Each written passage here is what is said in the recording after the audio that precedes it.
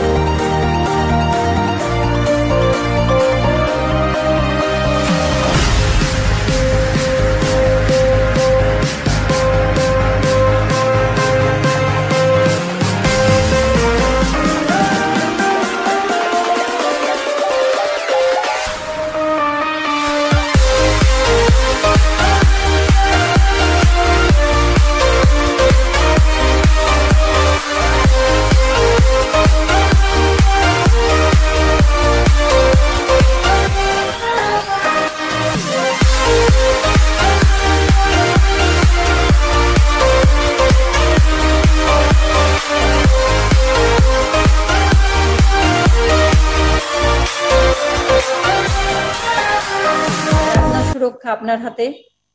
আপনারা সবাই যে স্বাস্থ্যবিধিগুলি আমরা সবসময় বলে থাকি, সেই স্বাস্থ্য নিয়মগুলি আপনারা মানুন।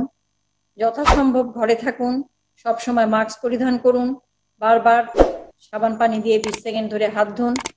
আপনার ঘরে কোনো বয়োজ্যেষ্ঠ মানুষ থাকলে তার প্রতি বিশেষ খেয়াল রাখবেন। আপনার ঘরে কোনো গর্ভবতী মা থাকলে শিশুদের ক্ষেত্রে বিশেষ শিশু যারা আছেন এবং যারা অসংক্রামক ব্যাধিতে ভুগছেন, তারা বিশেষভাবে এই স্বাস্থ্য নিয়মগুলো মেলে চলবেন এবং নিজেদের সুরক্ষিত রাখবেন, পরিবারের সকল ব্যক্তিকে সুরক্ষিত রাখবেন। আক্রান্ত হয়েছেন, তারাও নিজেদেরকে সবসময় মানসিক মনোবল ধরে রাখবেন।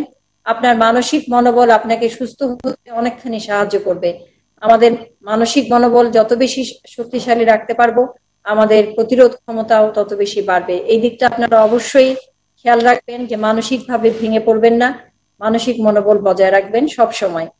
এবং আপনারা সৃষ্টিশীল কর্মে নিয়োজিত থাকবেন, নিজেরা থাকবেন, পরিবারের অন্য সদস্যদের, বিশেষ করে শিশুদেরও আপনারা সৃষ্টিশীল কাজের দিকে মনোযোগী করবেন।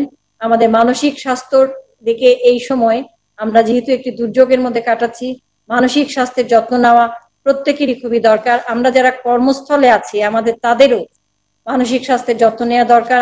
আমাদের মানসিক উজ্জীবতা খুবই দরকার। আমরা এই সব করার জন্য মানবিক যা যা করার দরকার সেটা আমরা করব এবং এক্ষেত্রে আরেকটি বিষয় বলব আমরা যেন প্রত্যেকে মানবিক হই আমরা কোনো আক্রান্ত ব্যক্তির প্রতি যেন কোনো অসদাচরণ না করি বা তার প্রতি যেন কোনো কঠোর আচরণ না করি। আমরা কারণ আমরা সবাই মিলেই বাংলাদেশ একা আমি বাংলাদেশে ভালো থাকতে পারি না আমি আজকে সুস্থ আছি কালকে যে আমি এটাতে আক্রান্ত হব না এর কোনো এই জন্য আমরা প্রত্যেকের প্রত্যেকেই প্রত্যেকের প্রতি সহমর্মিতা দেখাবো, সমবেদনা দেখাবো এবং আমরা সকলেই মিলে ভালো থাকার জন্য স্বাস্থ্য নিয়মগুলো মেলে চলবো।